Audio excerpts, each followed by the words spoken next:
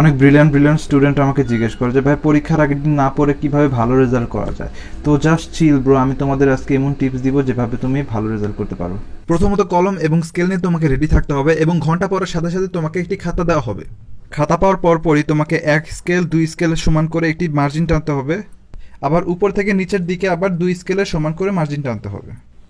তো অনেক স্টুডেন্টরা মনে করে যে, টিচাররা আসলে খাতার ভিতর কি লেখছি সেগুলো পড়ে দেখে। আসলে টিচার এগুলো কিছুই পড়ে না। আসলে কে কয় পৃষ্ঠা লেখছে সেটার উপর ভিত্তি করে টিচাররা মার্ক দেয়। তো প্রশ্ন পাওয়ার পরে আমাকে এখান থেকে এক নং প্রশ্নের উত্তরটা লিখব এবং এক নং প্রশ্নের উত্তরটা লেখার পর নিচে একটি দাগ দিব। একটা দাগ দিয়ে যদি মন না ভরে তাহলে আরেকটা দাগ দিব। আরেকটা দাগ দিয়ে মন না ভরলে আরেকটা দাগ দিব এবং মাঝখানে ঢেউ ঢেউ ঢেউ ঢেউ দিব আর তার নিচে আরও ঢেউ ঢেউ দিব। পারলে নীল, কালি, লাল, কালি সব কালি মিলিয়ে দিব। এরপর আমরা ক নাম্বার লেখার চেষ্টা করব। কিন্তু সত্যি কথা বলতে ক নাম্বারের উত্তর তুমি জানো না। ক নাম্বারের উত্তর জানতে হলে তোমাকে একটি নির্দিষ্ট সময় পরে বাথরুমে গিয়ে নিজ দায়িত্বে জেনে নিতে হবে। তো এটি একটি পদার্থ বিজ্ঞানের প্রশ্ন এবং ক নাম্বারে রয়েছে ক্ষমতা কি? ক্ষমতার কথা বলতে গেলে প্রথমে আমাদের মাথায় আসে আওয়ামী লীগ অথবা ছাত্রলীগের কথা। কিন্তু বিএনপির কথা আমাদের মাথায় ভুলেও আসে না। এই জন্য পদার্থ বিজ্ঞানের ভাষায় ছাত্রলীগ অর্থাৎ আওয়ামী লীগকে ক্ষমতা বলে। এরপর চলে আসি আমরা খ নাম্বারে। খ নাম্বারের ক্ষেত্রে আপনাকে এক কথা, দু কথায় লিখলে কিছু হবে না। আপনাকে বানিয়ে বানিয়ে অনেক কিছু লিখতে হবে। খ নাম্বারে এখানে লেখা রয়েছে ফিফটি জে কাজ বলতে কি বোঝায়? এখন ফিফটি জে কাজ বলতে আমরা বুঝি পঞ্চাশ জনের কাজ। যেহেতু J for John J O N এটি লেখে আমাদের লাইনটি কেটে দিতে হবে। কারণ আমাদের পরবর্তী পৃষ্ঠায় যেতে হবে, আর যত বেশি পৃষ্ঠা, তত বেশি মার্ক এখন যেহেতু জে ফর জন জনকে যদি আমি অভ্র কিবোর্ডে লিখি, তাহলে J O N is to বর্গিত জ ন। অতএব পঞ্চাশ জনের কাজই হলো ফিফটি জে সুতরাং আমরা বলতে পারি যে পঞ্চাশ জেই হলো পঞ্চাশ জনের কাজ। এই খ নাম্বার দেখার পর স্যার প্রচুর পরিমাণে মুগ্ধ হয়ে যাবে এবং তোমাকে দুইয়ে দুই দিতে বাধ্য হবে। এখন আমাদের উদ্দীপকে অনেক ভুলভাল তথ্য রয়েছে যেগুলো আমাদের ইগনোর করলেও চলবে। এখন আমরা গ নাম্বারে চলে যাচ্ছি। গ নাম্বারে রয়েছে, যুবকদের গতিশক্তি নির্ণয় করো। আসলে আমি এখন খুবই গুরুত্বপূর্ণ একটা লাইন লিখব, সেটা হচ্ছে যে যুবকদের গতিশক্তি আমাদের সমাজে অপরিসীম। যুবকদের গতিশক্তির তাৎপর্যপূর্ণতা নিম্নে আলোচনা করা হলো। এইসব লাইন আসলে যদি না লেখেন, তাহলে মনে করব আপনি সৃজনশীল লিখতে পারেন না।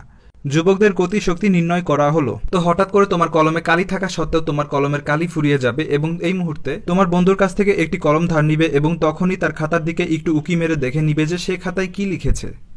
এই মুহূর্তে আমি আমার বন্ধুর কাছ থেকে একটি দামি কলম নিয়ে এসেছি এবং সে খাতায় কি লিখেছে সেটাও দেখে ফেলেছি।